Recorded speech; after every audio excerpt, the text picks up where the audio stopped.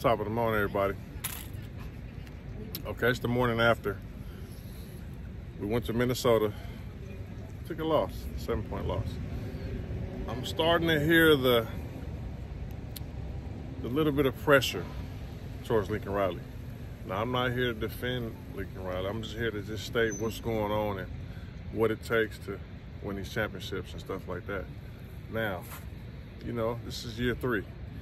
So I expect, you know, us to have high expectations. You know what I'm saying? Year one, pretty was, was pretty good record-wise. Year two was a big fall off record-wise, based on our expectations, based on his year one, and based on us having a returning Heisman winner. You know what I mean for a quarterback. Um, here we are, year three, sitting at three and two.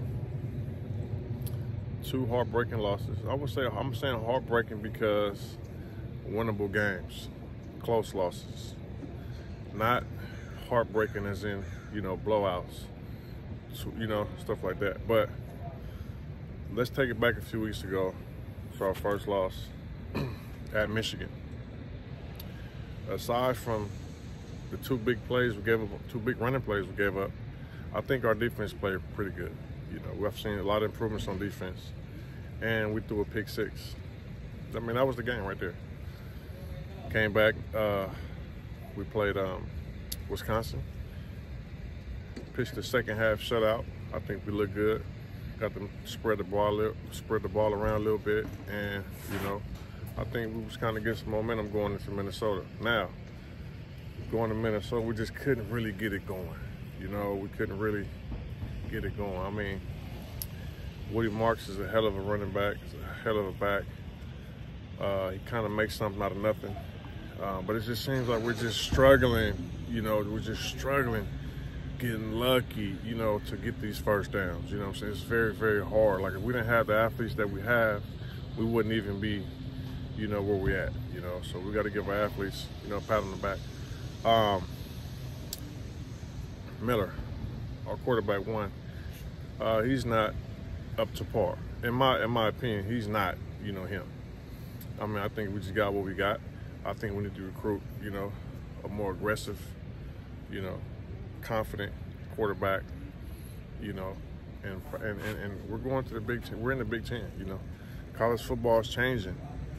It's good to have, you know, mobile quarterbacks. It's good to have, you know what I'm saying, a full package, a dual threat. Um, going back to the uh, bowl game last year, we threw, I think, believe six touchdowns. Those four of those touchdowns were poorly thrown balls. Our athletes made up for them. So when we made the announcement this year coming in, so he was going to be a starting quarterback, I'm like, oh wow. You know, I mean, we got what we got. We're at where we at. So the key thing here is we made improvements. Our defense is pretty good, man. You know, I, I, we got some athletes, we got some guys, we got some ball hawks. We're making some things happen. But I just don't know what it is, what we need to really turn it to the next level for SC to really, really be, you know, a contender. And it's only going to get harder. We got Penn State at home this week, undefeated. I mean, they're coming to make a statement. Uh, I'm sure they'll be pretty good favorites this week. Uh, it's a lot of pressure on Lincoln Riley, year three If we go three and three, mm, I can't put it all on Lincoln Riley